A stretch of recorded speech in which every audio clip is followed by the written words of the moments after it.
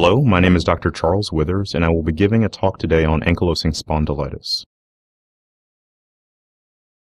The learning objectives are as follows. First, I will review the classic clinical features of ankylosing spondylitis. Second, I will outline a diagnostic approach for patients with suspected ankylosing spondylitis. And third, I will discuss treatment options for patients with ankylosing spondylitis. During this talk, I will provide an introduction to the spondyloarthropathies, discuss the epidemiology of ankylosing spondylitis, along with pathogenesis, genetics, clinical features, and extra-articular involvement. I will then move on to cover typical radiographic findings, diagnostic criteria for ankylosing spondylitis, and classical exam findings before finishing with a summary of current treatment modalities. I will begin with an introduction into the family of spondyloarthropathies. It is a group of interrelated inflammatory disorders with similar clinical features and overlapping genetic markers. These common clinical characteristics include symptoms of inflammatory back pain, arthritis affecting the peripheral joints, inflammation at the site of tendon insertions or enthesitis, inflammation of entire digits known as dactylitis, and uveitis. Descriptions of patients suffering from illnesses with these clinical features can be found in historical records dating back to the 16th century, although our current concept of spondyloarthritis has its roots in the 1970s.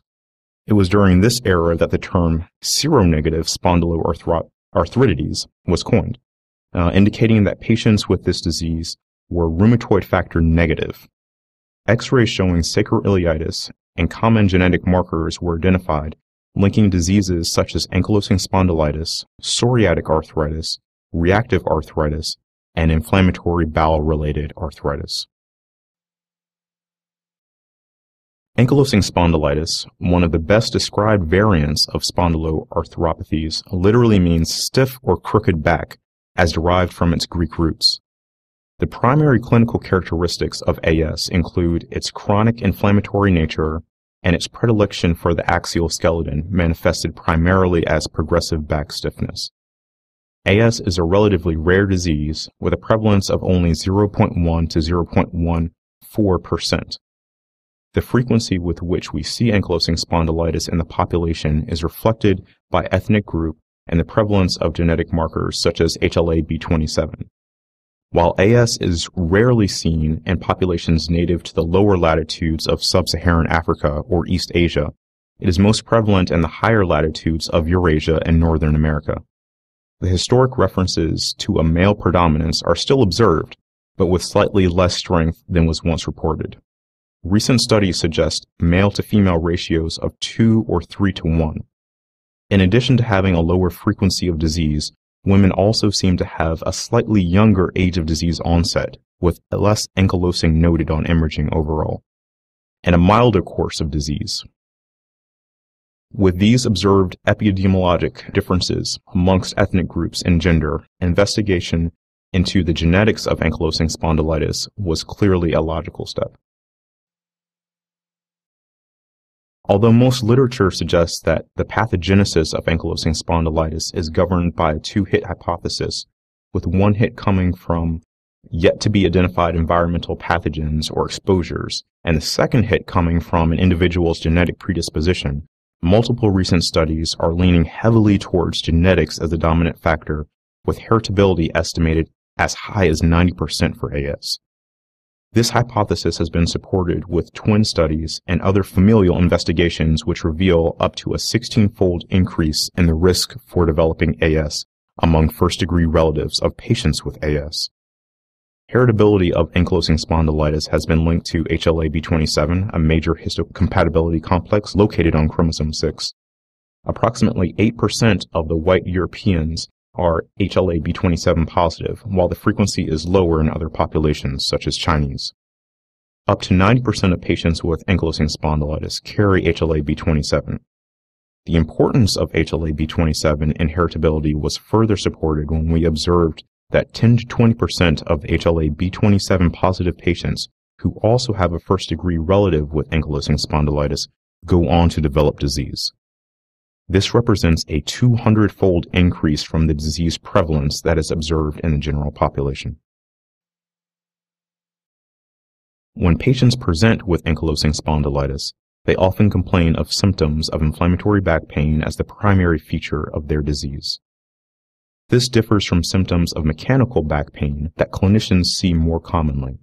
Mechanical back pain is characterized by acute onset with patients being any age. Pain generally improves with rests, worsens with activity, and patients usually report minimal morning stiffness.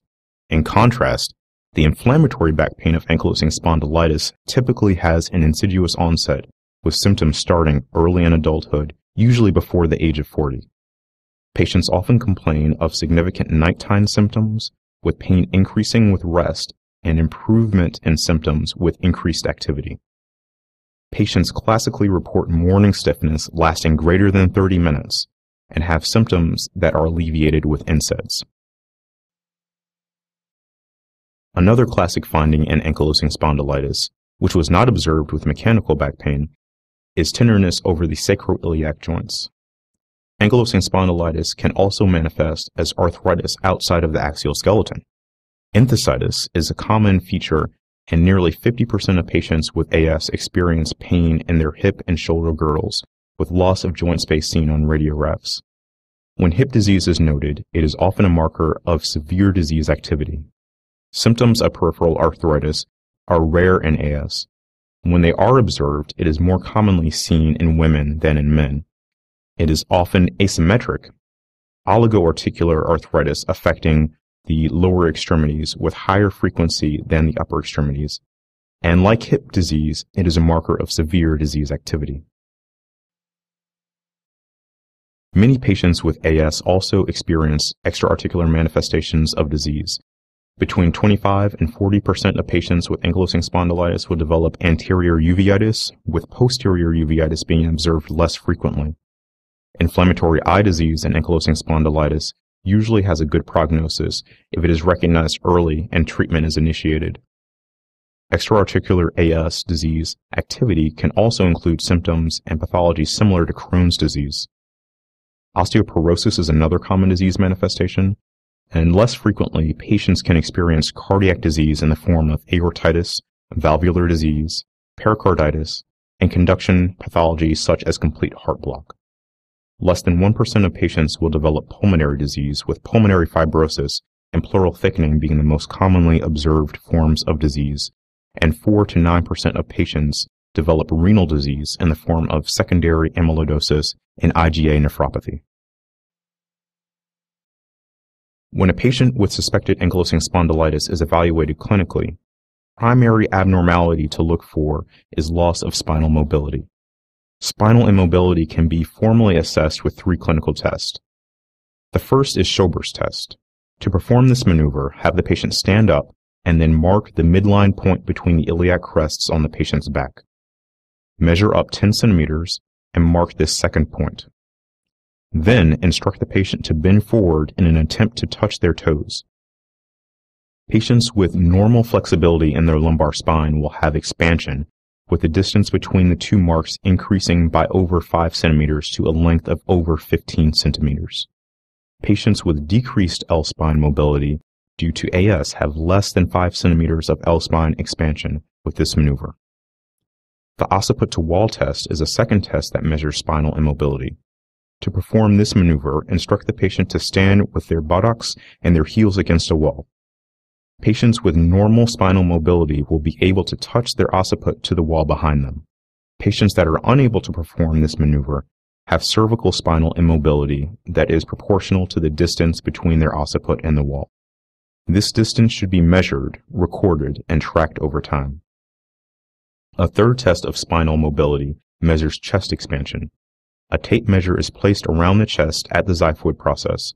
Normal inspiration should expand the chest over 5 centimeters, although some variation is seen with age. Decreased expansion should be noted as a potential sign of thoracic ankylosis. Lab serologies can also help confirm a clinical suspicion of ankylosing spondylitis. While there are no definitively diagnostic tests, Checking serology for HLA-B27 in a patient with a concerning history in exam is helpful. Patients with active disease often have elevated general inflammatory markers, so checking the sedimentation rate and C-reactive protein is often useful at baseline and at subsequent visits as a marker of disease activity. Additionally, basic labs such as a comprehensive metabolic panel and complete blood counts should also be considered, especially prior to starting any medical interventions. The classic radiograph of a patient with ankylosing spondylitis shows evidence of sacroiliitis, which can progress to complete fusion of the SI joints. While joint space loss follows a chronic progressive course, many patients with ankylosing spondylitis will have some degree of sacroiliitis on imaging. As ankylosing spondylitis progresses, bony growths originating from inside the spinal ligaments are often seen on X-ray. These growths are called syndesmophytes and are classically observed bridging between adjacent vertebrae. As the spinal ligaments calcify over time, the patient's back becomes progressively stiff, producing an X-ray finding called bamboo spine, aptly named for the woody, segmented plant that the spine begins to resemble. While X-rays are accepted as a first line of imaging in patients with suspected ankylosing spondylitis, MRI is a more sensitive tool for noting evidence of sacroiliitis. Because of the higher sensitivity, MRI is often useful in patients with early disease who have evidence of SI tenderness on exam but lack any objective findings on X-ray. Evidence of bone marrow edema can often be seen, indicating active sacroiliitis in the SI joints of the patient. In attempts to help clinicians and researchers reliably and reproducibly recognize patients with ankylosing spondylitis, several diagnostic criteria have been published. The two sets of criteria that are most widely recognized and used remain the modified New York criteria and the criteria published by the Assessment of Spondyloarthritis International Society. Both criteria are similar, using a combination of clinical and radiographic parameters to establish a diagnosis, with the ASAS including HLA-B27 and inflammatory markers as diagnostic criteria. The treatment of patients with newly diagnosed mild ankylosing spondylitis without significant extraarticular disease should start with NSAIDs. Monotherapy with NSAIDs is sufficient in many patients, with nearly 80% of AS patients reporting substantial benefit from this intervention. For patients with refractory disease or significant extraarticular disease such as uveitis, TNF alpha inhibitors should be strongly considered. Unlike rheumatoid arthritis, concomitant DMARD therapy is not usually suggested, and there is no evidence that TNF inhibitors slow the progression of radiographic joint damage, like we have observed in the treatment of RA.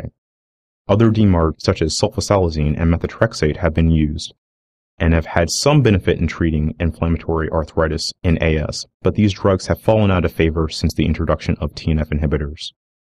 Long-term use of glucocorticoids in managing ankylosing spondylitis is often avoided, especially given the increased risk of osteoporosis in this patient population. In conclusion, the key points of this lecture include the following. Ankylosing spondylitis is a chronic, systemic inflammatory disease with a predilection for the axial skeleton and a strong association with HLA-B27.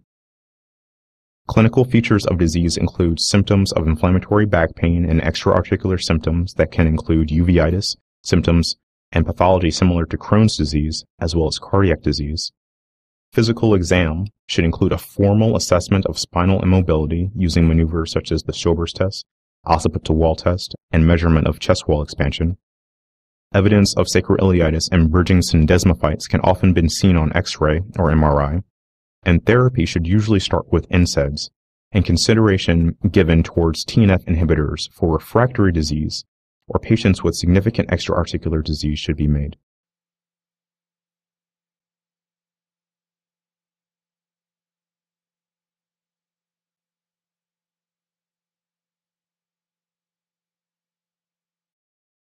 Thank you for your time and attention, and I hope that you have enjoyed this lecture on ankylosing spondylitis.